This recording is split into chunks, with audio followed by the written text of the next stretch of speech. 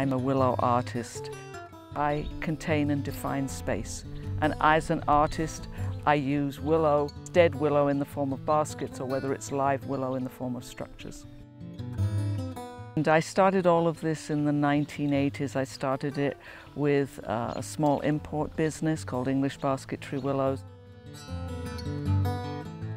Since 2004, I've built over 40 living structures and they are for all sorts of clients from government agencies to corporations to schools to private clients.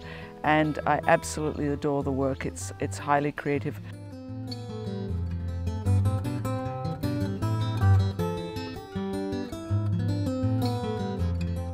There are many methods that I've used to do the living structures.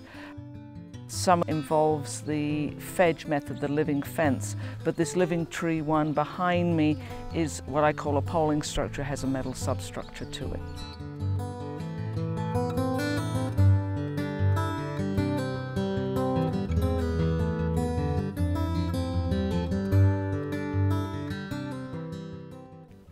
These living structures have a great potential to involve the community. Um, for example, several years ago, I built this nearly 50 foot long tunnel in Baltimore on Pier 5, opposite the National Aquarium and Pierce's Park. And that involved the whole community. Every day, community people were coming and helping me. So these structures, whether they're geared for the public to be involved, just the public walking by, it's a wonderful form of community art.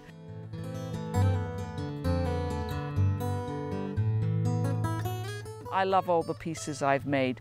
The pieces I do nowadays tend to have greater complexity to them, and that's also based on my skills as an artist as I develop. I'm now getting larger requests for outdoor living rooms that definitely need a substructure within them, but the substructure does allow me to really do any shape I want.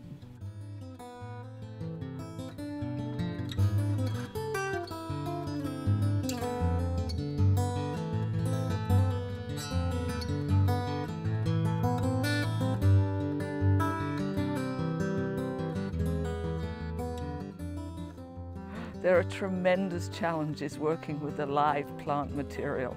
It would be much easier if I was working in metal or rock or some inert material. It, it, it's, it's wonderful though, but yes, I'm working with a live material. I'm building space with a live material and I've got to keep that live material around. I've got to keep it alive.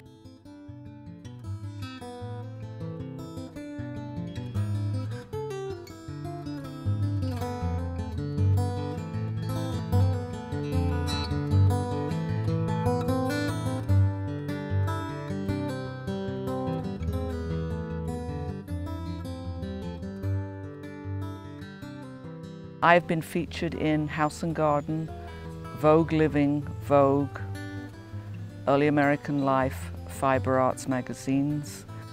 I've been on the Martha Stewart show, that was April 2010, um, the PBS series Cultivating Life.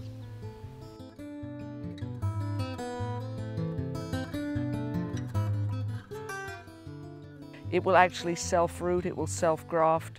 I mean, it's absolutely amazing plant material. People ask me how I got into this and I say that Willow chose me.